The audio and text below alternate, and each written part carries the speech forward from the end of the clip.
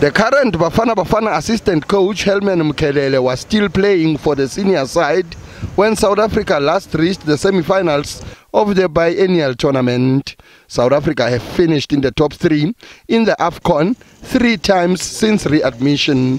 Their only triumph was under the late Clive Barker on home soil 28 years ago.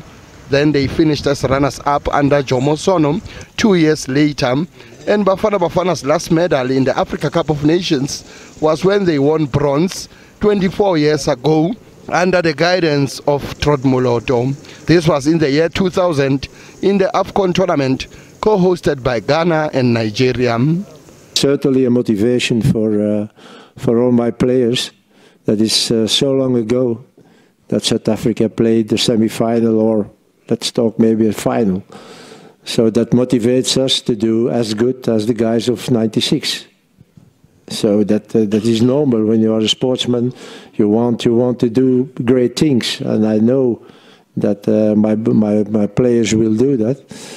And um, third, I think if you should see the reaction in the dressing room after the game against Morocco, you can be sure that they are motivated to do something special of all the 24 participating countries that reached the knockout stage of this year's tournament, South Africa, Egypt and Angola had the most players playing in their local leagues. My players are so motivated and want to show something that uh, they are now playing on a higher level than the championship in South Africa. This is for sure. We're playing differently also. The championship in uh, South Africa is more technical, not so physical, not at all. Um, and we needed that. And I think we changed that in our team. When we see uh, the games we played, the tough games we played, and certainly the game of Tuesday, we are physically as good as the others. So, and that is, I think, a big progression we made. The Bafana Bafana coach also believes the performance of his players has increased the profile of South African players internationally. It's important also because now when we can go on in this tournament, I think there will be more interest also for uh, South African players.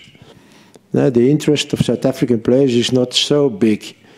When I'm uh, in my country and I ask someone, give me five South African players before AFCON.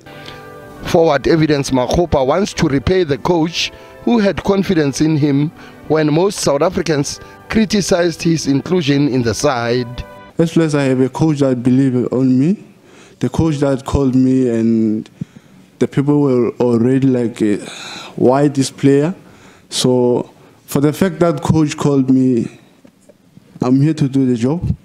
I'm here to play, and I'm gonna play uh, my whole heart for him. Like I'm gonna do whatever I have to do for the coach, cause he have a belief on me. So I have to show him that, yeah, we can st still do it. Bafana Bafana have never beaten Nigeria in an AFCON tournament in three previous meetings. However, in the last six meetings between the two nations, there was one win each and four draws. Sfiso Ramara, SABC News.